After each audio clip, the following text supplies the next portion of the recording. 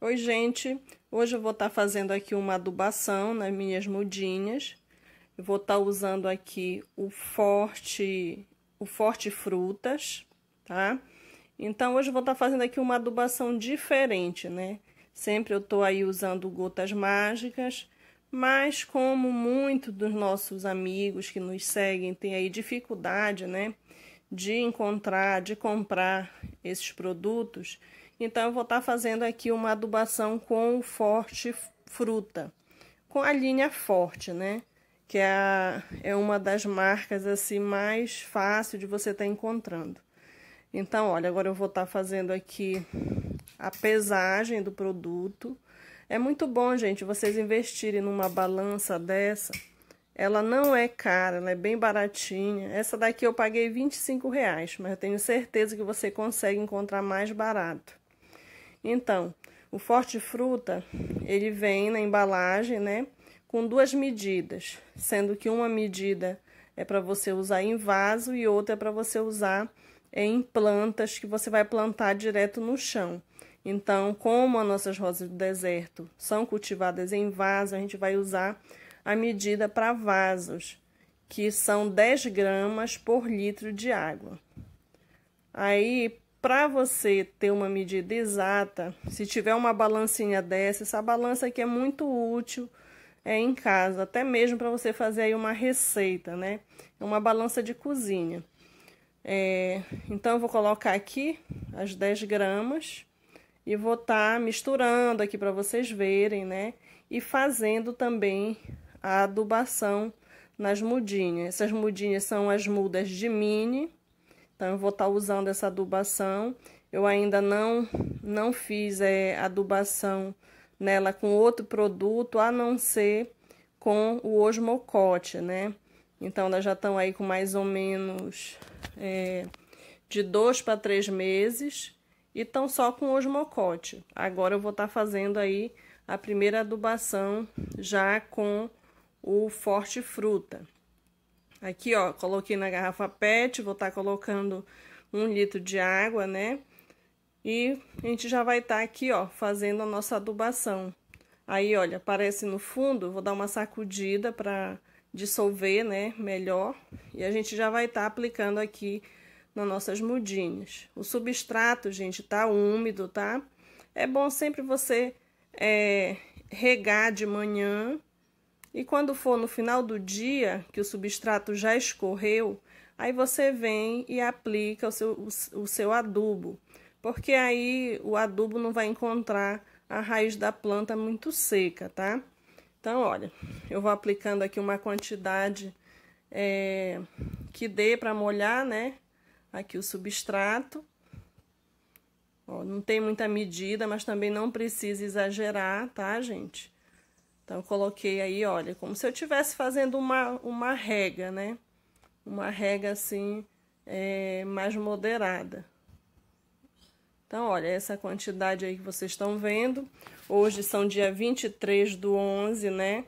A primeira aplicação. E eu vou estar tá, é, passando é, as outras aplicações também. Então, fica até o final do vídeo para você acompanhar o crescimento das mudinhas.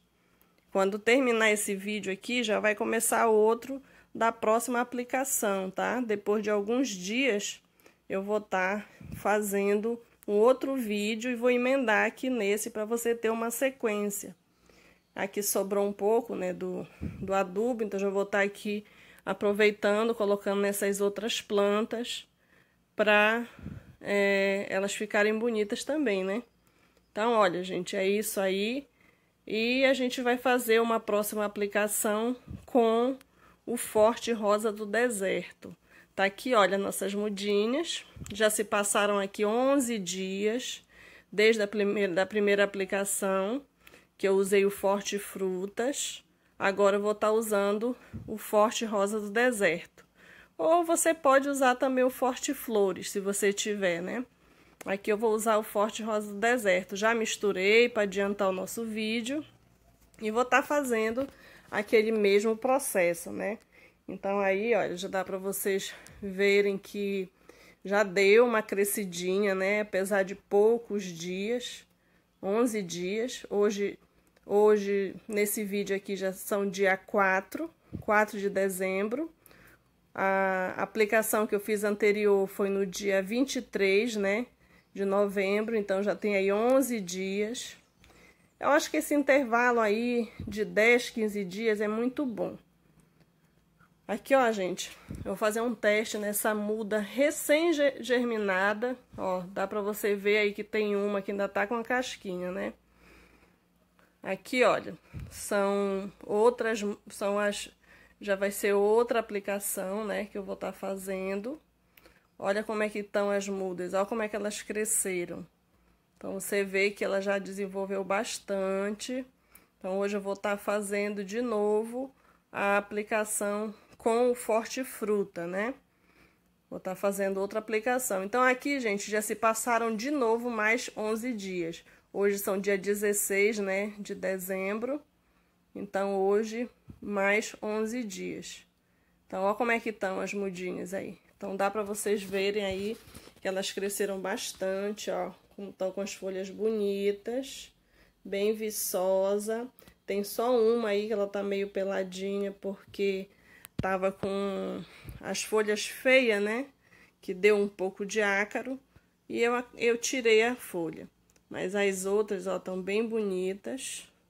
Então, tá dando certo aqui, ó, gente, a adubação. A planta não vai crescer tão rápido, né? Não vai ter aquele desenvolvimento tão rápido, porque são mudas de mini. Então, a mini a gente já sabe que é uma planta que ela tem um porte menor. Aqui, olha, aquela outra mudinha que eu apliquei naquele dia. Uma eu perdi, porque é, deu tipo um fungo lá na sementinha e acabou apodrecendo, né? Mas a outra tá aqui, olha, vou fazer de novo a adubação. Então, o que, que eu pude constatar aqui? Que mesmo a muda sendo bem novinha, não queimou as raízes. Mas ainda vou fazer mais testes, tá, gente? É, eu só estou mostrando para vocês, mas é, tenham cautela. Melhor você esperar aí 30 dias pelo menos para você começar a fazer uma adubação com esses produtos, né? Mas eu vou fazer mais testes, vou fazer uma semeadura, pelo menos umas 10 sementes, porque eu não tenho mais onde colocar muda. Então fica ruim ficar semeando e depois não tem como cuidar. Então, eu vou semear só mais 10 para a gente fazer novamente esse, mais um teste, né? Ver como é que ela vai se comportar. Mas até agora, olha, ela tá firme e forte aí, a mudinha. Grande abraço, fiquem